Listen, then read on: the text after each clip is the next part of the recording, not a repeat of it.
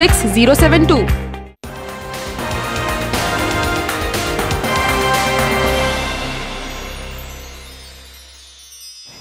नमस्कार, स्वराज एक्सप्रेस पर खेती किसानी और ग्रामीण भारत की ताज़ा तरीन खबरें लेकर मैं अनिकारण हाजिर हूँ बुलेटिन की शुरुआत करते हैं हेडलाइंस के साथ यूपी के ग्रामीणों ने सीएए एनआरसी पर उठाए सवाल, कहा असल मुद्दों से ध्यान भटकाने की कोशिश। छत्तीसगढ़ के धमतरी में भी संविधान बचाओ रैली में शामिल हुए ग्रामीण।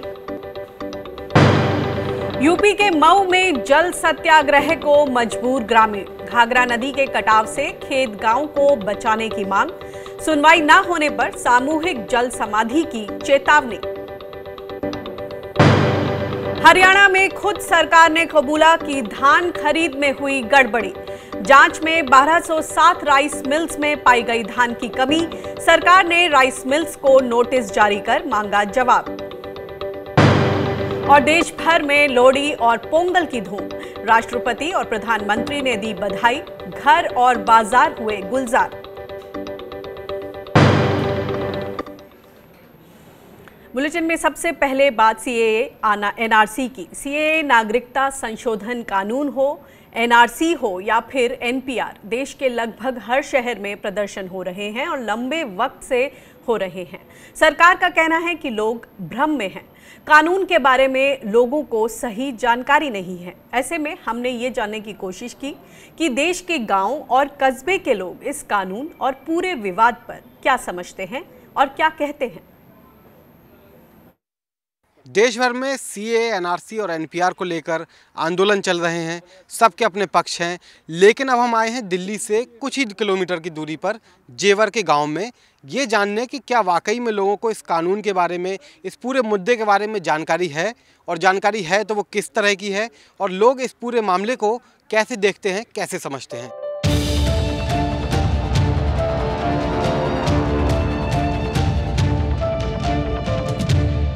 बस इतना ही हमारी समझ में आ रहा है कि ये गवर्नमेंट ने या जिसने भी, जैसे भी किया है, ये एक हिंदू मुस्लिम बना दिया है इसको, बाकी और ये कुछ नहीं नज़र आ रहा है। अमित शाह जी तो संसद संसद में खड़े होकर कहते हैं कि हम पहले वो लाएँगे सीए, उसके बाद में एनआरसी लाएँगे। और हमारे प्रधानमंत्री जी कहते हैं रामलीला मैदान से कि एन पे तो कोई बात ही नहीं हुई है। तो कौन झूठा है, कौन सच्चा है? राजनीति तो ये लोग कर रहे हैं एक बंटवारा कर रहे हैं देश में। इसके बारे में थोड़ी बहुत जानकारी है मगर एक इतना मुस्लिम और हिंदू के लिए लड़ाई करवाने का वो और कुछ भी नहीं। इतना ध्यान इस पर दे रहे हैं इतना किसी और पढ़ाई की शिक्षा पे देने लगे या किसी किसान के ऊपर देने लगे तो बहुत फ़ायदा है इसके भारत के लिए तो। बच्चों के लिए कुछ करो ना। ये इसके मुस्लिम और हिंदू के लिए क्या करते हो? बच्चों के लिए करो शिक्षा करो उनके लिए? ये सरकार द्वारा एक ऐसी पहल है जो अपने एक वोट बैंक को साधने के लिए है। तो रोज़गार और किसानों की आय दोगुनी और जो भी हमारे मुद्दे हैं और भी बहुत सारे मुद्दे हैं करप्शन उस पर उस पर से ध्यान भटकाने के लिए जो भी हमारे हिंदू मुस्लिम हो जाए। अभी जैसे लोग भूल गए हैं कि उनको रोज़गार नहीं है। लोग भूल गए हैं। उनके किसानों का कोई पैरोकार नहीं है। लोग भूल गए। अर्थव्यवस्था कितनी नीचे चली गई? शायद चार चार पर चल रही है जीडीपी उस पर उस पर कहाँ बात कर रहे हैं ये लोग? कभी बात करते हैं क्या? और कितनी, कितने बेरोजगार हो गए। इन्होंने कभी ये बताया कि हमने इतना रोज़गार दिए हैं। किसान के मुद्दे पे कहते हैं कि हम दोगुनी कर देंगे। कैसे कर देंगे ये दोगुनी? कैसे कर देंगे? डीजल के दाम देखो, सत्तर रुपये लीटर हो गए। खेत की बुवाई है, जुताई है, वो महँगी हो गई। नागरिकता संशोधन कानून और एनआरसी और एनपीआर को लेकर जो तमाम विवाद चल रहा है, तमाम डिबेट चल रही है, आप लोगों को इसके बारे में क्या जानकारी है और किस तरह की आप लोगों को जानकारी कहाँ से मिली? ये गवर्नमेंट ने नया कानून कर दिया, क्या करें, रोज़गार की तरफ़ या महँगाई की तरफ़ तो ध्यान दिया नहीं, क्या करें, डीजल किस रेट हो रहा? डीजल ही कोई नहीं, क्या करें, महँगाई कितनी है, क्या करें, लोग बाग कभी जीएसटी कभी नोटबंदी। सरकार तो बहुत ही है, कोई थोड़ी एक बात बताओ। तो महँगाई पे तो कोई किसी चीज़ पे तो काबू करा नहीं, जो पब्लिक के काम आने वाली चीज़ बिजली के बिल महँगा होना, ये होना, वो होना। बाकी किसी चीज़ पर कोई काबू तो करा नहीं गवर्नमेंट ने। लड़ाई दंगों में और इसी में कर दिया, क्या करें, अब नया कानून निकाल दिया, कि नागरिकता के फलाना का। नागरिकता कानून ये गलत लगाई है। या तो पहले मशवरा कर लेना चाहिए ने। ये अपनी मर्ज़ी चलाई है, ऐसे ही तो दो बार ऐसे ही कर दिया था, नोटबंदी में करा इन्होंने। इतने पढ़े लिखे तो है नहीं नहीं इतनी जानकारी, पर ये पूरे हिंदुस्तान में हल्ला है। तो मुसलमानों से प्रूफ मांगा जाएगा, सबूत मांगा जाएगा तो आप यहाँ की सन सतासी की, उन्नीस सौ सतासी नागरिकता दिखाई जाएगी, उससे पहले तुम्हारे बड़े बूढ़े, उनको, उनके प्रूफ चाहिए। अब प्रूफ तो आधार कार्ड हम पे या पहचान पत्र हैं और कोई हम पे प्रूफ तो है नहीं। तो इस मारे जो है पूरे हिंदुस्तान में ये भ्रम फैलाए फैल रहा है। तो ये मुसलमानों को नागरिकता देनी पड़ेगी पहचान। तो हम कहाँ से देंगे बताइए? सरकार ये कहती है कि हम जाएँगे सरकार के लोग जाएँगे बीजेपी के लोग जाएँगे सबको बताएँगे कि नागरिकता कानून क्या है। तो अभी तक आपको कोई ये समझाने आया? क्योंकि आपको पता नहीं है आप करें तो आपको कोई समझाने आया कि ये कानून क्या है? ना हमें कोई समझा नहीं आया। कोई नहीं आया। अभी यहाँ तो कोई आया नहीं है। इधर की साइड कोई नहीं। कि आपके पास कोई आया समझाने? ना जी कोई नहीं आया। अभी तक कोई नहीं आया सब ना हमारे क्षेत्र में कोई नहीं आया नहीं बताने आया कोई अभी कोई कोई बताने नहीं आया। कहा तो था लेकिन हमारे पास कोई नहीं आया अभी तक। कोई बताने नहीं नहीं कोई नहीं आया इस बारे में। सी एनआरसी और एनपीआर को लेकर लोगों में भले ही पूरी जानकारी ना हो लेकिन एक बात तय है कि लोग इस बात को ज़रूर समझ रहे हैं कि सरकार ने कम से कम सीए के मुद्दे पर उन तमाम मुद्दों को पीछे छोड़ दिया है जो आम लोगों के लिए आम जनता के लिए बेहद ज़रूरी थे। चाहे वो अर्थव्यवस्था की बात हो चाहे रोज़गार की या खेती किसानी की। जेवर से कैमरा पर्सन एजाज के साथ शशांक पाठक स्वराज एक्सप्रेस। और सी एनआरसी को लेकर सीताराम येचुरी भी कुछ कह रहे हैं। आइए उनको सुनते हैं। Like it has been done in the states of Kerala. And West Bengal, that NPR will also not be enumerated in their states. Now, on the basis of this, we have noted the and we expressed our solidarity with the large scale protests that are happening all across the country. It's not only in the universities and campuses, but even outside. There's been a spontaneous people's upsurge rising in defense of India's constitution. These protests are taking place with the tricolor. They are taking place with taking an oath on the preamble of the Indian Constitution. So, while expressing solidarity with all of this, we have said that a spirit of resistance has been evoked in the country. And we are appealing to the Indian people to strengthen the spirit of resistance. Sitaram Yechury CPM के महासचिव बोलते हुए CA NRC के लिए किस तरह से ये संविधान की पूरी जो स्पिरिट है, उसके खिलाफ है? और इससे पहले हमने आपको दिखाई किस तरह से जो किसान हैं ग्रामीण क्षेत्रों में, वो उनकी क्या राय है सीएए और एनआरसी को लेकर? और इसी तरह अब हम आपको दिखाते हैं छत्तीसगढ़ के धमतरी की तस्वीरें।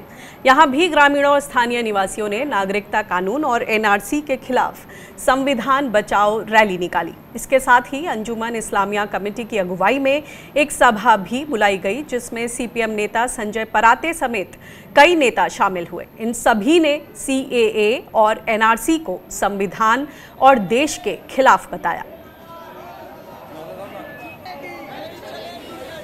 तो इस पूरी खबर पर और ज़्यादा बातचीत करते हैं। हमारे साथ हन्नान मौला जी जुड़ गए हैं। हन्नान मौला जी, स्वागत है आपका किसान बुलेटिन में।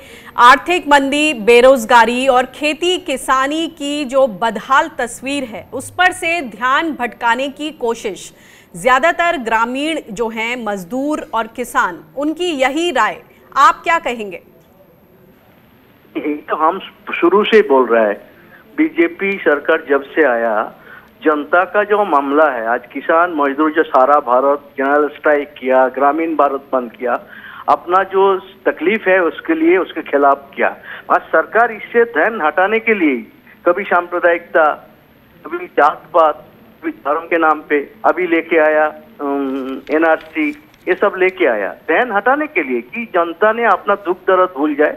दुनिया हिंदुस्तान में 45 मतलब साल में सबसे ज़्यादा बेरोजगारी गाँव में मनरेगा नहीं है ग्रामीण खेत मजदूर मर रहे हैं भूखा। तो यही जो परिस्थिति है इससे ध्यान हटाने के लिए ये सब नया नया साजिश कर रहा है। ये सरकार सिर्फ़ जनता को गुमराह करना चाहता है इमोटिव इशू उठा के जनता को गुमराह करना चाहता है। हनान मोला साहब एक तो ये बात हो गई कि ध्यान भटकाने की कोशिश और दूसरी तरफ़ ये भी कहा जा रहा है कि इसकी सबसे ज़्यादा जो गाज है एनआरसी की वो देश के गरीब आदिवासी महिलाएँ मजदूरों और किसानों पर गिरेगी।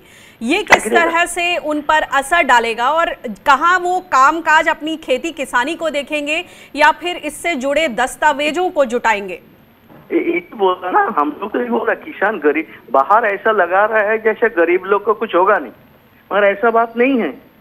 आपको मैं तो बोलता मोदी पहले तो बोला उसका बाप का जन्म स्थान कहाँ है? उसका डॉक्यूमेंट दिखाओ। दिखाओ पहले। तो बात कहाँ से लोग जुगाड़ करेगा गाँव में किसान के? हेलो जी। हनान मोला साहब, क्या आप हमें सुन सकते हैं?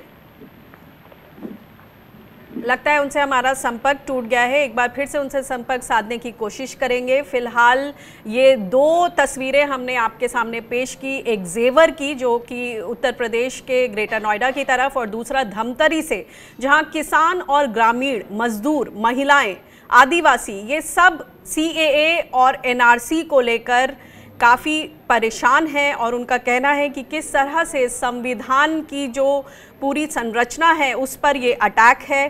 किस तरह से धर्म के आधार पर मुस्लिम्स को देश से बाहर करने की एक कोशिश और उसके बाद ये तमाम मुद्दे हैं जब देश आर्थिक मंदी के दौर से गुजर रहा है तो सी और एनआरसी का आना कितना ज़रूरी है? क्योंकि और भी मुद्दे हैं जिन पर ध्यान देने की ज़रूरत है। हमारे साथ हनान मौला जी एक बार फिर से जुड़ गए हनान जी ये बताइए कि कहा जा रहा है कि NPR भी लाया जाएगा नेशनल पॉपुलेशन रजिस्ट्री और वो पहला कदम बताया जा रहा है एन एनआरसी के लिए। अगर ये होता है तो इसमें किस तरह की दिक्कतें आएँगी? और ये भी बोला जा रहा है कि एनपीआर के लिए जो इन्फॉर्मेशन दी जाएगी उसका एनआरसी के लिए सत्यापन करना ज़रूरी होगा। तो ऐसे में किस तरह की मुश्किलें सामने खड़ी होंगी? मुश्किलें सामने खड़ी होगी। हम जो देखा है हमारा देश में जो खेतियार मजदूर है ग्रामीण लोग है जो जिसका घर नहीं है रास्ता के बाजू में झोपड़ी बना के रहते हैं और जो माइग्रेंट होके एक राज्य से दूसरे राज्य एक जिला से दूसरे राज्य भटकते रहते हैं ये लोग कहाँ से सब डॉक्यूमेंट लाएँगे?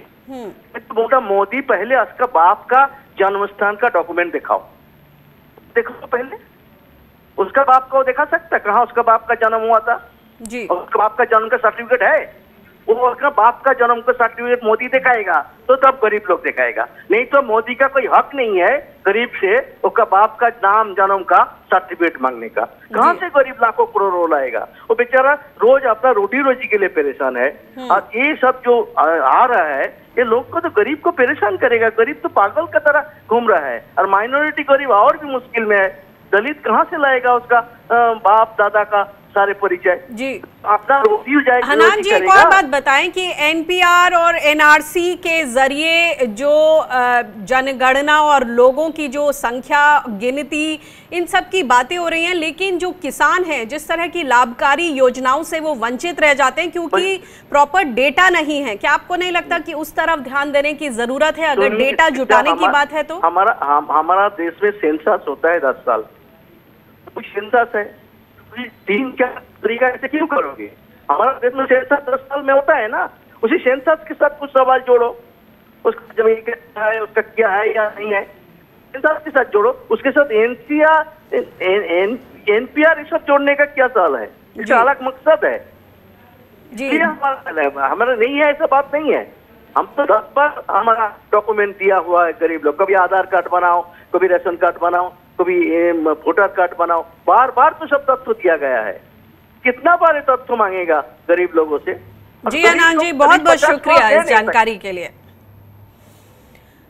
अर्थव्यवस्था के मोर्चे पर एक और बड़ी खबर सामने आई है। सरकारी आंकड़ों के मुताबिक बीते साल दिसंबर में खुदरा महँगाई दर सात दशमलव तीन पाँच फ़ीसदी पर पहुँच गई, जबकि नवंबर 2019 में ये पाँच दशमलव पाँच चार फ़ीसदी थी। सरकारी आंकड़ों के मुताबिक बीते दिसंबर में खाद्य महँगाई दर चौदह दशमलव एक दो फ़ीसदी दर्ज की गई है, जबकि नवंबर 2019 में ये दस दशमलव शून्य एक फ़ीसदी थी। जानकारों का कहना है कि प्याज समेत सब्जियों के दाम बढ़ने से खाद्य महँगाई दर में इजाफा आया है। वही प्याज समेत सभी फ़सलों को उगाने वाले किसान भी कम दाम मिलने से लगातार जूझ रहे हैं। आरबीआई का लक्ष्य रहता है कि खुदरा महँगाई दर चार से छः फ़ीसदी के दायरे में रहे, यानी दिसंबर में खुदरा महँगाई दर ने आरबीआई के लक्ष्य को पार कर दिया है।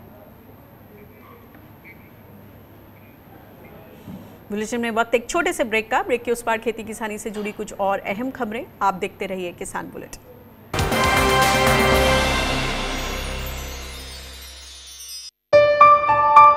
चलो इतिहास के कुछ पन्ने पलटते हैं। चलो उस दौर में कुछ दूर चलते हैं। हो बात ग्वालियर की या हो कहानी मुमताज़ की।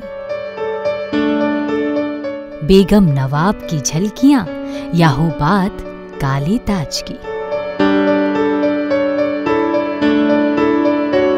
हर तरफ़ पसरा यहाँ इतिहास है, यूँ ही नहीं कहते सभी, मध्य प्रदेश तो कुछ खास है। वक्त के निशान।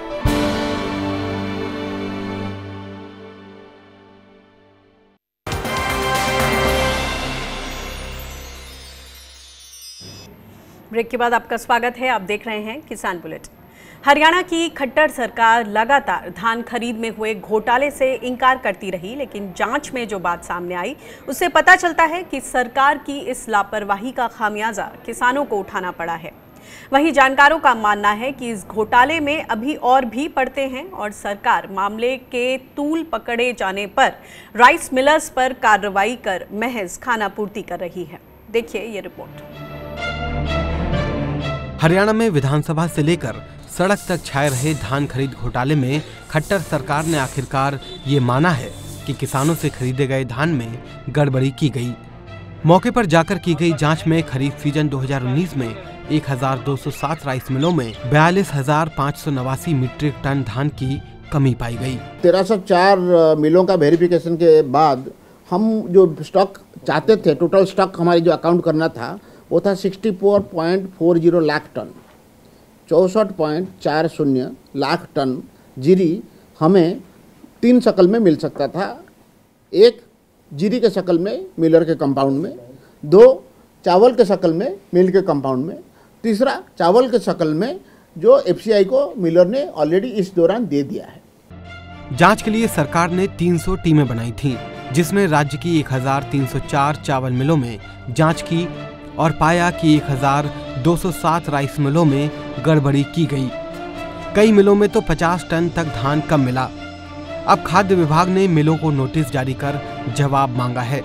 इन सभी मिलों को एक शो कॉज नोटिस जारी कर रहा हूँ। मैंने फ़ाइल पर ये आदेश दे दिया है कि वो हमें बताएँगे, एक, कि किस कारण से ये शॉर्टेज उनके यहाँ पाया गया और क्यों ना उनके खिलाफ जो सिविल लाइबिलिटी है उनका और जो क्रिमिनल लाइबिलिटी है, उसके लिए उनके खिलाफ कार्रवाई की जाए।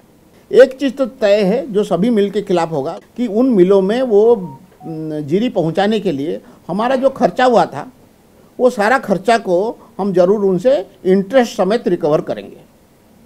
उसके अलावा और क्या पेनल एक्शन हो सकता है, कितने लोगों के खिलाफ हो सकता है, कैसे किया जाएगा, वो तय करना बाकी अब भले ही खाद्य विभाग धान की खरीद में गड़बड़ी से बचने के लिए इसमें पारदर्शिता लाने के लिए धान को मंडियों से मिल परिसर तक ले जाने वाले ट्रकों में जीपीएस लगवाने की बात कह रही हो, लेकिन ये सतर्कता अगर पहले बढ़ती जाती तो किसानों को यूँ नुकसान नहीं उठाना पड़ता।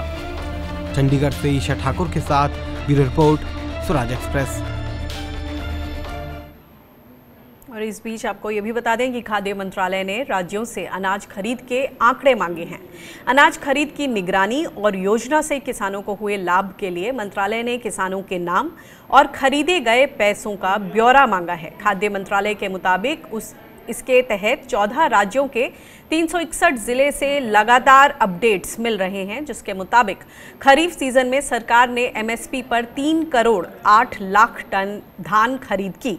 इसके लिए अस्सी हज़ार करोड़ रुपए से ज़्यादा का भुगतान भी किया। इससे 50 लाख किसानों को फ़ायदा पहुँचा है। खाद्य मंत्रालय के अधिकारी आड़तियों और बिचौलियों को दरकिनार कर धान खरीद का पैसा सीधे किसानों के खाते में डाले जाने का दावा कर रहे हैं।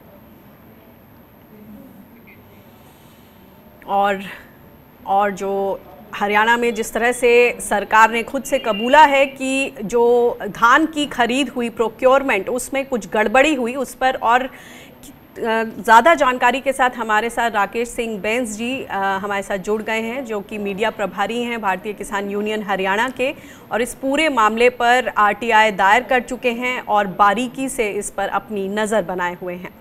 राकेश जी, स्वागत है आपका किसान बुलेटिन में। सरकार ने अब तो खुद ही मान लिया है कि इसमें धान प्रोक्योरमेंट में कुछ गड़बड़ी हुई है और वो उसको दुरुस्त करेंगे। आपको क्या लगता है कि अब मामला साफ़ हो जाएगा? क्या सरकार नींद से जागी है? देखिए ये जो धान घोटाला हरियाणा में हुआ है, ये बड़े घोटाले को ढकने के लिए छोटा घोटाला खोल दिया गया है। दर्शा दिया गया कि घोटाला हमने पकड़ लिया है। इसके पीछे हज़ारों करोड़ रुपए का जो घोटाला हुआ है उसको ढपने के लिए सिर्फ़ नब्बे करोड़ रुपए का घोटाला हरियाणा में दिखाया गया है। आपकी समझ में कितना बड़ा घोटाला है? और कौन है इसके ये- पीछे? ये एक बहुत बड़ा घोटाला है लगभग हज़ारों करोड़ रुपए का घोटाला है। और इसके पीछे जो उच्च अधिकारी सारे सम्मिलित है इसमें ये घोटाला जो है एक सुनियोजित घोटाला था जो एक योजनाबद्ध तरीके से करवाया गया और किया गया।